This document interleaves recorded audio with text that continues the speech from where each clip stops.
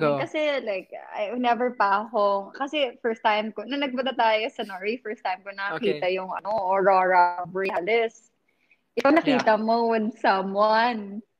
Yeah. Anong feeling na kasama mo yung special na tao sa'yo?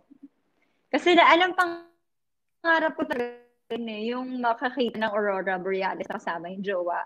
Ay, although I'm not saying na jowa mo yung kasama mo, but Oh ano my God.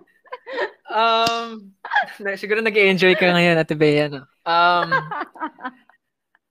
let's just say this. Let's just say this. Um, bucket list check, but it's more. It's probably more than that. Uh, taking all of that out of the equation, um, just getting to see that was truly parang a God-given moment.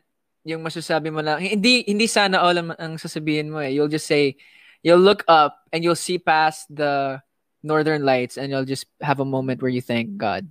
Um, and whatever happens in the future, I'll always say thank God for that moment. Yun lang, yun, yun, yun lang masasabi ko.